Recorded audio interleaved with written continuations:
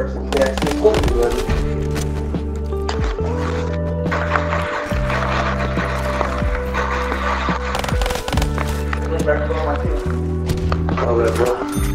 Dude, early that kid pissed me off, dude. I had a whole train coming, dude, and he murked my whole train when I turned the corner.